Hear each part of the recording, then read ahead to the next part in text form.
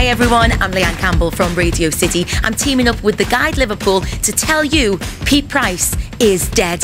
Well, he's not really, but it's a great title for a play, isn't it? I've written a play, it's on at the Royal Court, but we want to find out what the reaction is out on the street when I tell them Pete Price is dead.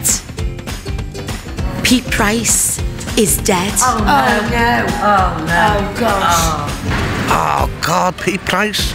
And he owes me a tenner, you know. Never. You'll never say. Why's that? She's part of the furniture.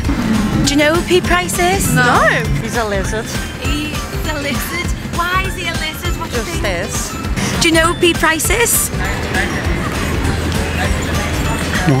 well, then, carry on with your day. My husband loves him. Your husband loves him? Yeah. Does he Thinks he's to very funny, yeah. He's funny. He is funny. Was funny. God rest his soul.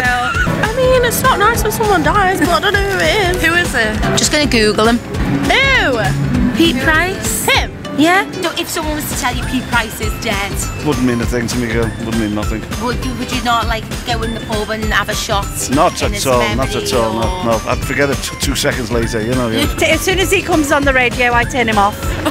I do not like him. Why don't you like him? I just don't like his attitude and his foul. You know, he's a, he's a phony.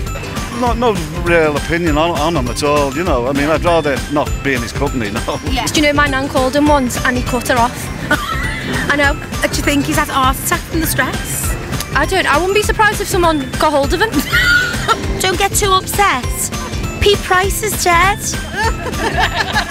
He's like me. You can have me both. Showed me his bum.